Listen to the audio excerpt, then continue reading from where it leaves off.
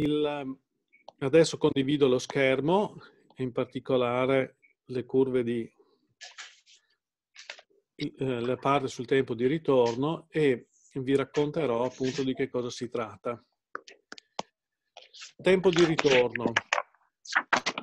Eh, il tempo di ritorno ci serve a specificare che cosa sono le precipitazioni estreme, esterne, sì, scusate, estreme.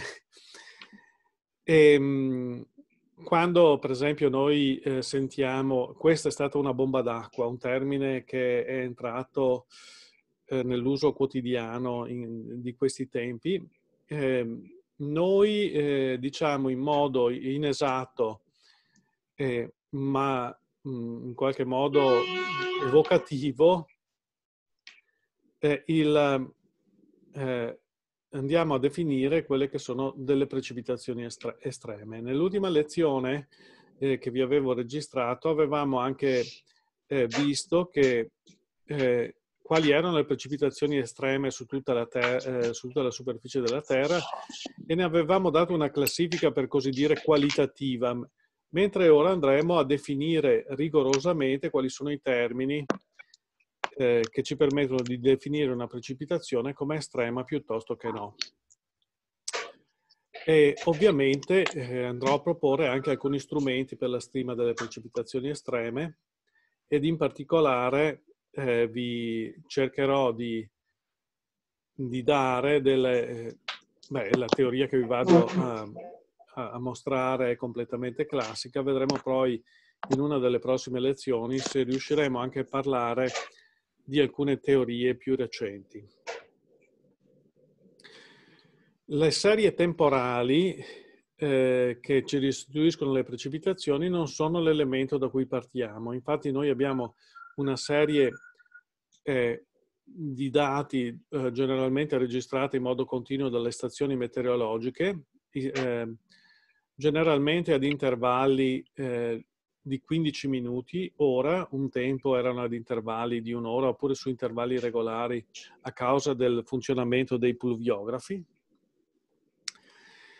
E mh, questi dati tuttavia eh, erano eh, elaborati eh, per produrre tabelle come questa che vedete rappresentata qui. Questa tabella in particolare eh, rappresenta per ogni anno i massimi di precipitazione, in questo caso in millimetri, eh, per durate prefissate, cioè un'ora, tre ore, sei ore, 12 ore, 24 ore, e si riferiscono non tanto, no, così non mi vedete immagino, si riferiscono non tanto alla, alla durata di un evento eh, meteorologico, ma eh, si riferiscono piuttosto a durate prefissate in cui le piogge sono accumulate a prescindere dal numero di eventi che, che sono prodotti. Il, quindi il dato è costruito, diciamo, artificialmente su finestre mobili che sono fatte scorrere eh, sulla serie temporale completa dei dati e poi vengono registrate queste precipitazioni. Come vedete qui abbiamo anche dei, te, dei valori che sono segnati come NA e questi NA altro non sono che um, not a number, vuol dire mancate acquisizioni di questi, di questi dati. Una misura però per anno. Notate anche i numeri, un'ora 50 mm, quindi una precipitazione in qualche modo massima annuale può essere di 50, 35, 40 mm. Vedete in fondo anche una precipitazione di 89 mm e poi andremo a vedere con, con maggiore dettaglio che cosa questa eh, precipitazione eh, significhi nell'ambito della serie, temporale, della serie questa volta delle precipitazioni massime annuali che vedete segnate. La prima operazione che possiamo fare con queste precipitazioni è andarle a plottare sulle durate. Evidentemente non ho una, un singolo valore per ogni durata, ma ho tutti i valori che ho misurato per ogni durata. I valori si predispongono eh, su un diagramma di questo tipo e eh, naturalmente pongono un problema perché su, per ogni durata io ho una distribuzione di valori, non un valore singolo. Un modo per rappresentare in forma sintetica queste distribuzioni di valori eh, sono i diagrammi a scatola. I diagrammi a scatola sono appunto queste scatole che vedete. Eh, le scatole eh, rappresentano delle, eh, degli specifici indicatori eh, statistici. In particolare eh, il, il, limite, il, il punto inferiore che vedete qui segnato rappresenta il quartile, il quartile inferiore. Ciò significa che il 25% dei dati è, più, è inferiore a questo valore.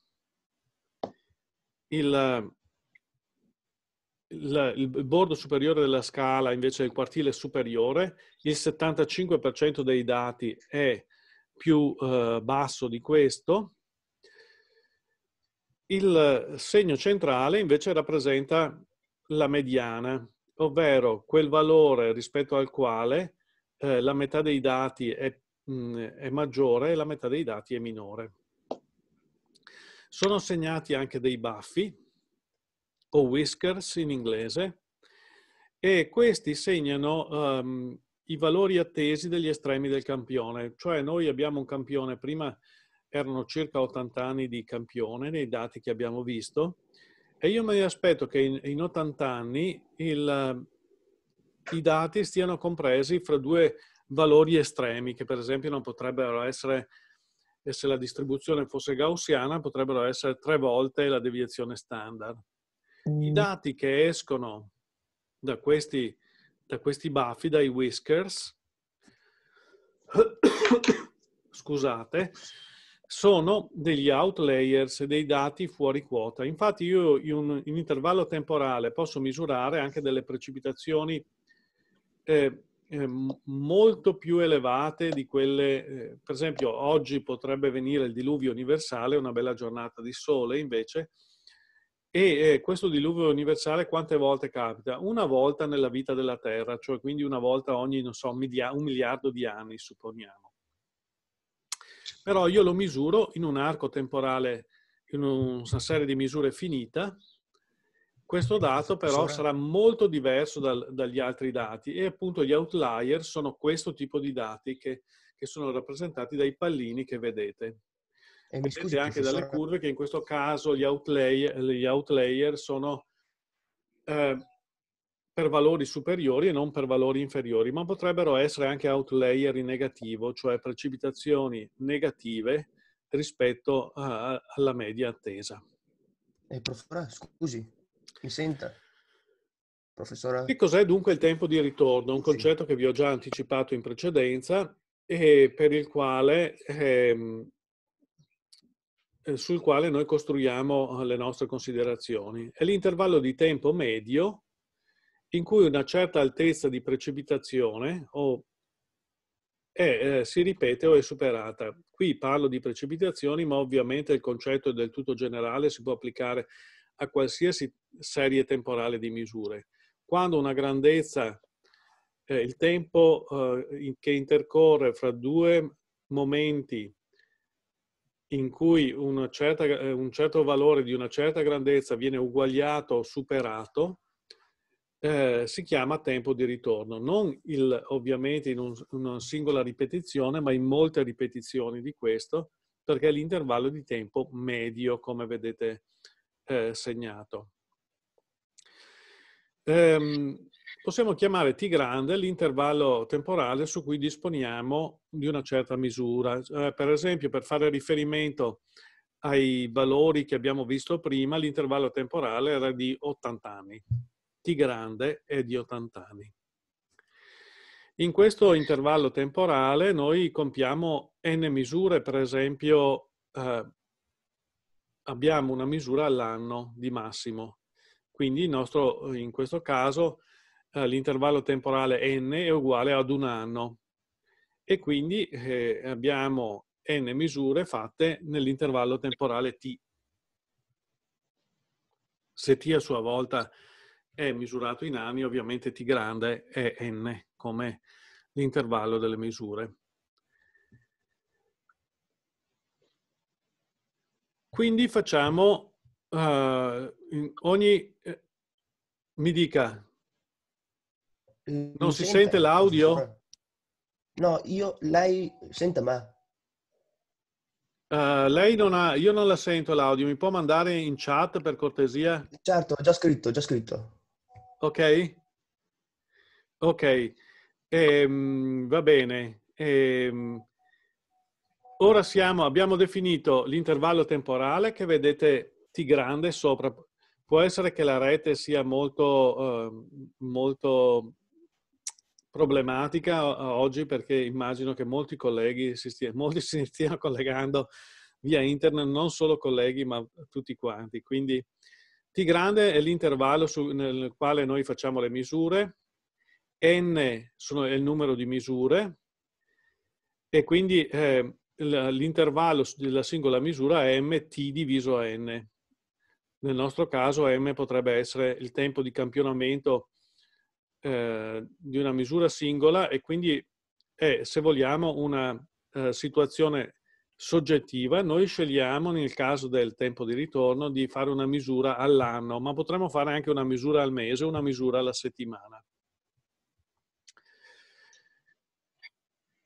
Allora, andiamo a vedere quante volte, e sia L, L piccolo, il numero di volte in cui una certa altezza di precipitazione eh, che abbiamo chiamato qui H star è uguagliata o superata. Il, in questo caso eh, abbiamo fissato appunto H star, nel nostro caso potrebbe essere, che ne so, 18, no, 18 è troppo poco, eh, 35 mm e andiamo a vedere nell'arco delle misure che noi possediamo, delle n misure possed- che noi possediamo, quante volte l'altezza di precipitazione è superiore a 18 mm. In questo caso abbiamo L volte che eh, la, L volte questa misura è superata. Il, um, allora il tempo di ritorno risulta definito in modo abbastanza uh, semplice come il tempo totale di misura diviso il numero di volte che noi abbiamo, eh, che noi abbiamo superato il valore prefissato. Quindi questo tempo di ritorno in particolare è il tempo di ritorno della misura H star. Quindi noi prendi, come potete osservare qui, ciò non significa che il superamento di ogni singola misura eh, sia eh, intervallato in modo uniforme durante la durata delle n misure. Come vedete, per esempio, gli eventi 2 e 3 si susseguono in due anni successivi. Poi esiste una serie, dopo l'evento 4, una serie di eventi in cui eh, la, il, il, valore prefissato non è superato. Quindi la distribuzione di, questo, di questi superamenti durante la nostra se, serie temporale può essere eh, eh, spaziata in modo non uniforme. Uh, il, il, tempo, il, tempo, di ritorno quindi risulta uh, T diviso L, T è la durata, la durata d'altra parte è data per l'intervallo di durata che è M ed N che è invece il numero totale di, eh, di misure che abbiamo fatto, quindi è N per M diviso L. E possiamo andare a definire quindi da un punto di vista puramente empirico eh, quella che chiamiamo frequenza di superamento, ovvero la, um, la frequenza, il numero di volte in cui eh, la frazione in cui eh, l'evento è superato. Questa è ovviamente L diviso N. Eh, la frequenza di successi, quindi di misure superiori uguali ad H star, eh, si può allora descrivere come, eh, cioè anzi il tempo di ritorno si può scrivere allora come, eh, come m, che è l'intervallo di campionamento singolo, diviso la frequenza di superamento, cioè il, la frazione di volte in cui eh, una, la certa precipitazione H star è superata. La cosa interessante è che questa frequenza di superamento che noi abbiamo ottenuto in modo del tutto empirico in questo momento si può correlare la frequenza di non superamento, ovvero la frazione di volte in cui la precipitazione H star è superata è uguale ad 1 meno la frazione di volte in cui la, um, la precipitazione H star non è superata. Questa frazione di non superamento, cioè quella che vedete nella, mh, mm, i, segnata come FR, aperta parentesi tonda, H minore di H star, eh, si può anche definire come SDF, Empirical Cumulative Distribution Function, cioè la distribuzione empirica dei dati. La distribuzione empirica dei dati.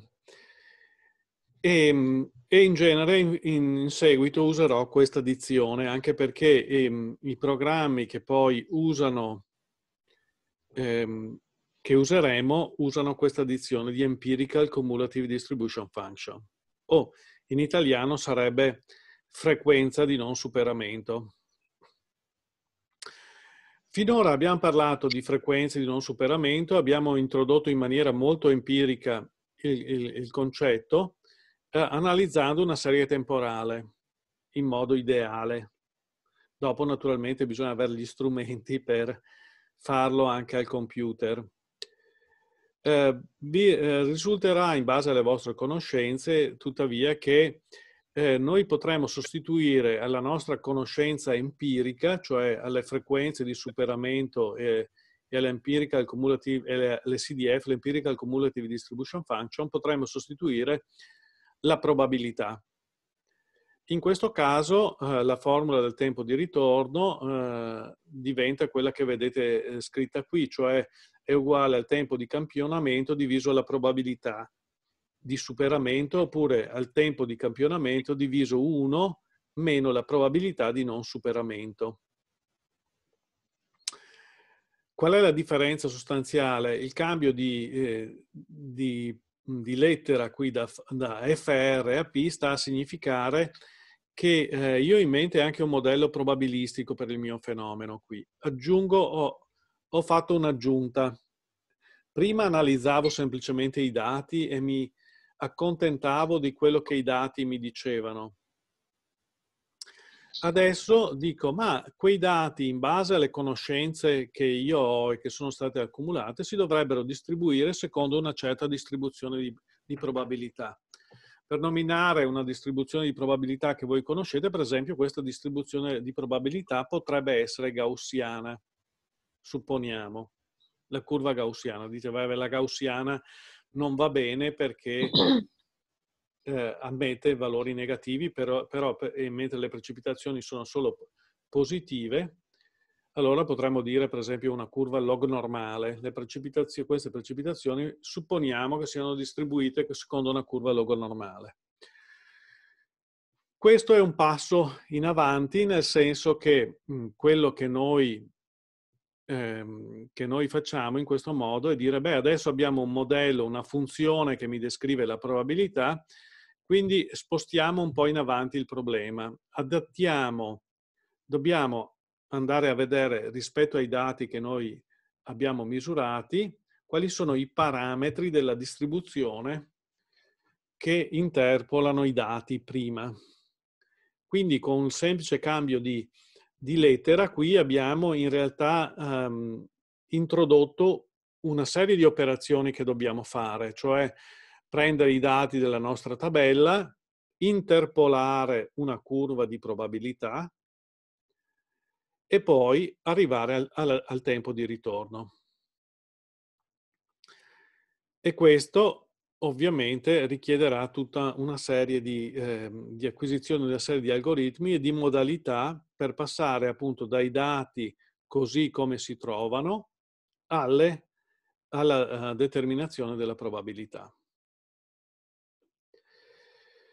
Eh, volendo fare un passo leggermente indietro, per esempio, allora il tempo di, usando le formule empiriche che comunque avevamo introdotto in precedenza, eh, potremmo andare a considerare che cosa significa, per esempio, la mediana. Se andiamo a vedere la mediana, la mediana è il quantile 0,5, si, si chiama anche, significa che metà dei dati stanno sopra e metà dei dati stanno sotto quel valore.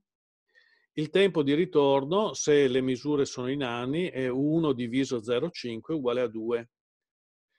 Il quartile inferiore, invece, che è eh, il quantile 0,25, è 1 diviso 0,75 che fa 1,33. Il quantile 0,75 invece in questo caso è, è il tempo di ritorno di 4 anni. Con questo grafico, in particolare in cui in qualche modo ho interpolato per esempio delle, una, linea verde, potrei pensare di selezionare per ognuna delle durate eh, una certa frequenza probabile, per esempio quella che corrisponde al tempo di ritorno di 4 anni, quindi seleziono un solo punto di tutti quelli che stanno sulla verticale di un'ora, seleziono un solo punto di tutti quelli che stanno sulla verticale delle tre ore seleziono un secondo punto, un, un, unico punto anche per le altre durate. Ottengo quindi 5 punti che poi posso tentare di interpolare. Qui li ho interpolati con una retta, la ragione vi sarà chiara fra poco. E quindi sono in grado, a partire dalla mia tabella di dati iniziali, poi di ottenere una curva che interpolerà che cosa? Sulle ascisse abbiamo le durate, quindi in funzione delle durate l'altezza di precipitazione. Ma questa, eh, questa curva che ho disegnato interpreta anche un altro fatto, cioè la frequenza con cui gli eventi si, si riproducono e quindi il tempo di ritorno. Quindi la curva è una curva che dipende da tre variabili, la durata e, la, e, e l'altezza di, che hanno tre variabili, l'altezza di precipitazione, che è la variabile che voglio inferire, la durata e c'è una variabile per così dire nascosta in, in questo grafico almeno che è il tempo di ritorno. A questo punto siamo in grado di definire che cos'è una precipitazione estrema. È quella che si ripete con un tempo di ritorno molto elevato. Eh, che cosa sia un tempo di ritorno molto elevato è un concetto relativo ed è relativo in particolare al tipo di opere che si vanno a studiare. E ehm, per esempio, se noi eh, progettassimo una, una, una fognatura, il tempo di ritorno con il quale ci confronteremo sarebbero 5 o 10 anni di tempo di ritorno. Cioè andiamo a considerare quale altezza di precipitazione si viene a generare in un certo luogo con un tempo di ritorno di 5 o 10 anni. Un evento eh, invece per fenomeni fluviali come esondazioni o cose di questo tipo, eh, i tempi di ritorno a cui siamo interessati sono quelli eh, solitamente molto elevati, per esempio 200 o 300 anni di tempo di ritorno. Ehm, quindi una bomba d'acqua, se, se, vogliamo usare questo termine che ad alcuni dei miei colleghi piace, ad altri non piace, io lo utilizzo perché è comodo, una bomba d'acqua è quella precipitazione che si ripete in un certo luogo con un tempo di ritorno molto elevato. Qui ho messo 200 anni, mediamente ogni 200 anni, perché io posso avere due di queste precipitazioni nello stesso luogo, anche, stesso, anche in due anni di fila, e poi non averle, per esempio, per 400 anni. Un'altra concetto che va chiarito è che questo tipo di analisi, così come ve l'ho presentato, cioè l'analisi di una serie temporale di dati che si, sono definiti in un punto, eh, sono, eh, si riferiscono ad un certo luogo. Se io prendo due luoghi sufficientemente distanti, in maniera tale che le precipitazioni che questi verificano sono indipendenti l'uno dall'altro, eh, potrei avere una precipitazione che si, eh, di, con un alto tempo di ritorno in questo luogo, poi una precipitazione con un alto tempo di ritorno in, in un secondo luogo l'anno successivo e poi l'anno successivo ancora in un terzo luogo avere una precipitazione con un alto, un alto tempo di ritorno. Eh, questo eh, ci eh, rappresenta il fatto che per esempio in Italia noi verifichiamo ogni anno precipitazioni con alto tempo di ritorno, che sono a volte distribuite anche su tutta la penisola, ma molto più spesso si tratta di eventi localizzati indipendenti fra di loro. Questi hanno un elevato tempo di ritorno, certamente se noi andiamo a considerare la probabilità che uno di questi eventi accada in un punto spazialmente esteso, certo la frequenza con cui noi dobbiamo fare fronte alle emergenze è molto più grande. Abbiamo uno, due, dieci di questi eventi ogni anno in tutta l'Italia. Intanto eh, direi che possiamo eh, fermarci qui per, e riprendere fra cinque minuti.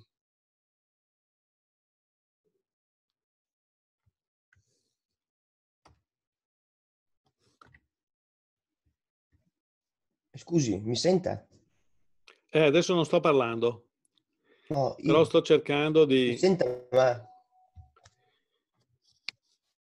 Ok.